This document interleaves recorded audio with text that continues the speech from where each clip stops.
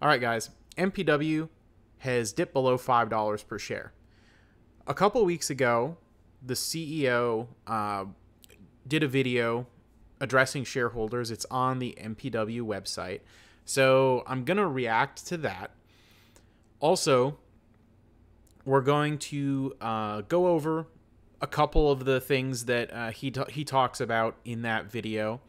Um, and earnings is also coming up in 10 days. So I'm going to, you know, go over something that I'm kind of going to be watching out for on that earnings uh, to see if the company is actually hitting on some of the points that I think are important. So without much further ado, let's get into it. All right, so I'm on the MPW website, and here is the video message to shareholders from the CEO, Ed Aldag. Hello, I'm Ed Aldag, CEO of Medical Properties Trust. I'd like to express my deepest appreciation to all the shareholders who continue to place their trust in our company. We do not take it for granted. All right, uh, you're welcome, I guess. We pride ourselves on maintaining the high road, even as our share price has come under pressure from others who stand to benefit financially from such a decline. However, all right, so on that, he's talking about the short interest, obviously. Just one second, we'll pop into that. So, Medical Properties Trust has about 125 million shares sold short. This figure represents over 21% of the entire company. That is a very substantial amount of short interest and definitely will have a cooling effect on the share price of the company. And now, back to the video. Comment below whether you think the short interest is overblown or justified on this stock. I would be remiss not to acknowledge the real toll this has taken on people who have invested their hard earned savings with us. As a large shareholder myself, with significant interest tied to the success of this company. So, yeah. One, yes, definitely taking at least an emotional toll on people having to, you know, look at the unrealized loss in their account on a daily basis. But um, second thing, it's true. He has about $18 million worth of MPW stock. Don't know what percentage of his net worth is tied up in that, but, you know, $18 million worth of stock in the company is certainly nothing to sneeze at and certainly means that his interests are probably pretty well aligned with the interests of shareholders.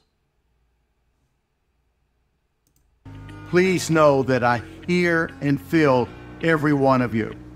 So, with that in mind, it's time you heard directly from me all the reasons I remain confident in MPT's proven business model and ability to create long term value for our shareholders.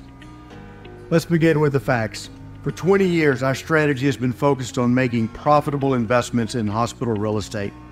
Through this time tested and transparent strategy, MPT has grown into the second largest owner of hospital real estate in the world. Our business model has contributed to the clinical excellence in hundreds of hospitals globally. Okay, so yeah, they own a lot of hospitals. I mean, it doesn't necessarily mean that's good or bad on its own, but you know, it is it is a true statement. To put some numbers around that, our portfolio currently includes approximately 44,000 hospital beds in over 400 properties across 10 countries. Today, our total asset value stands at $19.2 billion. Okay, speaks to, um, you know, geographical diversification, diversification of properties, size of their portfolio. Um, the 19.2 billion uh, worth of assets that that will be important when uh, the topic of debt comes up later. Having grown 118 percent since the end of 2018. We are incredibly proud of the high. Now, the growth, if uh, if it required a lot of you know dilution or debt to you know achieve that growth in assets, you know, was it done at um, you know in a way that is uh, you know value add for shareholders? Well, maybe, maybe not. Highly diverse set of hospital properties in our portfolio, which includes not-for-profit, public, and private hospital operators, as well as a strong mix of asset types, from general acute care hospitals to behavioral health facilities and inpatient rehabilitation facilities. This portfolio includes relationships with world-class hospital operators around the world. As we approach 2020, the the quality of the operators is one of the things people kind of try to um, you know use as a mark against them. Now, prior to the pandemic, I don't know that that was even something that uh, you know people had on their radar as uh, an issue needing addressing with this company. So, is it that the operators are suddenly bad, or is it that they were you know ill-equipped as were many other you know businesses to handle the impacts of a pandemic? 24 we remain confident in the value and strength of this portfolio. Next i'd like to explain our levers for shareholder value creation mpt owns real estate and our cash flows predominantly come from long-term lease agreements with our tenants. There are a few important things you should be aware of about these leases. First, they are inflation protected. So in 2024, for instance, we expect $50 million in incremental cash rent and interest from our current portfolio based on prevailing rates of inflation. Yeah. So um, I've mentioned it in previous videos that they have uh, CPI based rent escalators. So they they collect more rent when inflation uh, you know goes up basically there's there may be a cap on it i'm not sure but basically if the cpi says inflation is 4% then they get to raise the rent more than if the cpi says inflation is 2% so even if interest rates are raised to combat inflation it should not be quite as bad if they have um, an inflation based rent escalator compared to um, maybe a company like uh, Realty Income that just basically has baked in like 1% rent escalators. That's not doing much for you either from an interest rate increase perspective or an inflation perspective. Another key point to keep in mind is that leasing offers a number of benefits to the operators themselves. By leasing, rather than owning real estate, hospitals create the capital flexibility to invest where it matters most, taking care of patients. Operators also benefit from a small and predictable rental expense, which typically amounts to a fraction of their average labor costs, versus the often unpredictable interest and principal payments associated with secured debt when choosing to own their own real estate. Our strategic investments in operators have been another key lever of shareholder value creation over the years. These investments not only facilitate better alignment of interest with our tenants, they have also been an excellent source of opportunities to grow and expand our portfolio. And when we have exited these investments, they have generated profitable returns, as evidenced most recently by our investments in Median, Autos, and Springstone. Because MPT invests in hospital real estate for the long term, 15, 30 plus years, we are also committed to ensuring the long term viability of our hospitals for the communities they serve. Yeah. So, um, one thing they've been, you know, criticized for is, you know, putting money into, for example, uh, Prospect and Steward. Um, in the case of Prospect, expect uh, accepting equity in lieu of cash for back rent that was owed, and they're pointing to some counterexamples of why supporting and investing in different hospital operators that also lease hospitals from them can actually work to their advantage. So let's continue. There are times when high quality hospital operators experience short term financial challenges, caused by unexpected events. The COVID 19 pandemic, the recent nursing shortages, which exacerbated labor costs, are excellent examples. In these rare situations, MPT will sometimes step in to provide temporary, limited support through working capital loans. These loans. Yeah, and so they say temporary and limited, but you know, some people say, you know, it's it's too much in this instance. Which comprise only a very small percentage of our assets, carry market cash interest rates, are backed by strong collateral, include significant protections, and are certainly preferable to permanently cutting rent. We believe this is the right thing to do for the long term value of our hospitals. Doesn't do our investors or the communities we serve any good to watch the right long term operator for a facility become distracted by temporary and preventable financial challenges. So, this is where we are today. Two decades of successfully demonstrating our business model and safeguarding America's access to quality. So, I guess like the, the counterpoint people would make to that is that um, MPW has potentially been, in some instances, subsidizing some of these operators at the expense of the shareholders. But um, I suppose they're contending that, you know, having that operator, you know, forced out because MPW didn't, you know, find some kind of a solution would actually be worse for the value um, of the property in the long run. So I can see it from that perspective. But right now, of course, with the share price taking a beating and all the negative articles, it's hard to you know see the uh, the the light at the end of the tunnel and um, you know see the bright side of things. Hard to see the glass half full, so to speak. Hospitals. And like any successful business, we've not gotten where we are by shying away from challenges. We tackle them head on so we can continue providing value. Let's face it, we're in a tough economy and there's a great deal of focus on inflation and higher interest rates. At the same time, our business cash flow profile, while still robust, has meaningfully changed over the past 18 months as a result of certain strategic asset sales and the extended timeline by which the full prospect restructuring is expected to take shape. Against this backdrop, much of the investment community has questioned our ability to refinance debt maturities, even ones that are several years out in time. The short answer is this we have a number of attractive options for addressing scheduled debt maturities as a result of our recently announced capital allocation strategy. We are already taking action under this plan.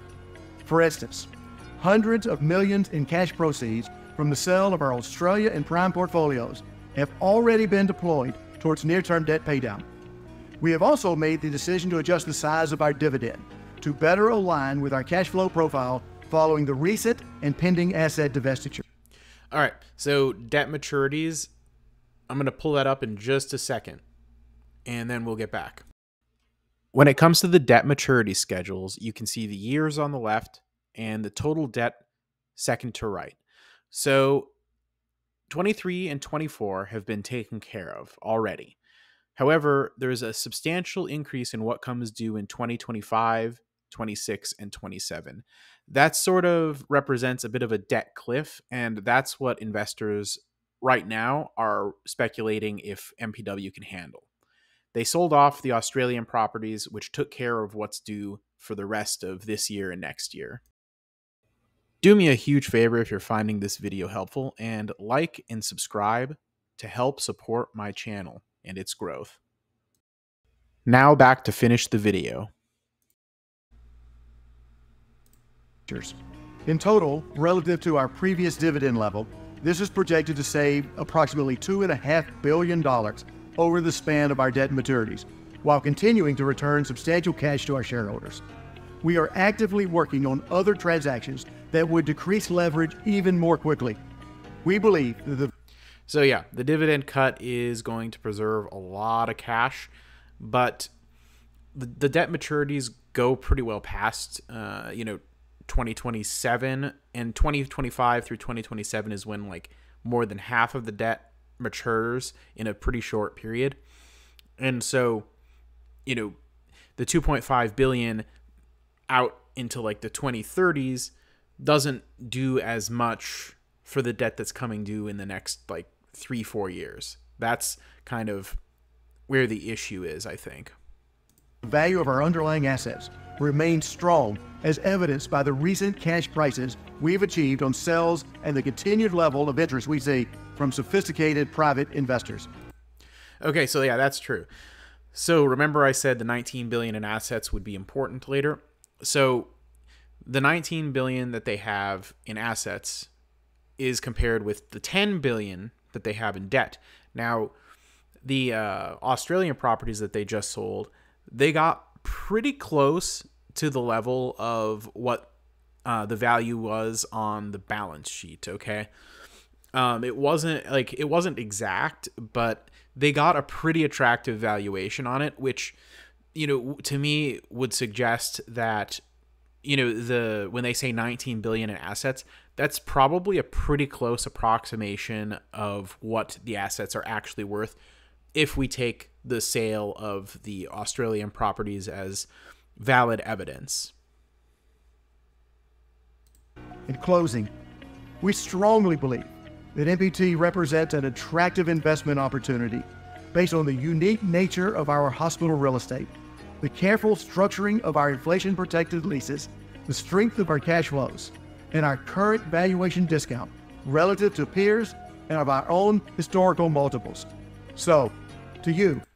Yeah, no, that's true. Um, Fast Graphs actually, you know, pointed out that, you know, based on historical multiples, um, right now, MPW is pro like the the appropriate valuation would probably be something more like $18 a share based on multiples of FFO. Um, and when it comes to the assets, well, it's about $14 per share that they're worth uh, based on the difference between the balance sheet and the current share price. So either way you slice it, it would seem like it's still an attractive, it's even more of an attractive uh, price today. But of course, you know, there's there's things in here that you know have generated a lot of fear, and that's going to you know drive short interest, and it's going to make people capitulate and sell out of the stock. Our shareholders, again, I'd like to say thank you. Thank you for putting your trust in our proven business model over the past 20 years. As we continue to execute our value creation plan, we will be sharing more video updates directly with you. We appreciate your continued support. Thank you. Okay, guys. Um, all in all, like, I don't know. It it comes off a little sales pitchy, but I get why they did it. Um, you know, they feel a need to respond to you know some of the negative sentiments out there. And of course, if they've got, you know, if, if this guy has $18 million worth of the stock, well, every time the share price uh, takes a, a big hit, that's probably a pretty big hit to his net worth. So, yeah, of course, they're going to do what they can to try to, you know, prevent the share price from sliding more. Um, anyway, that's all for that video. And if they if they do another um, you know video update, I'll definitely react to that if you guys want. I'll also be watching out on earnings and I'll probably do a video after that comes out just to update you all. Be sure to join the conversation. Let me know what you think of Medical Properties Trust. Join our Discord, link is in the description, and catch me live Saturday night at 8 p.m. Eastern Time on the Cashflow Kings Live, link in the description. Have a great day, everyone.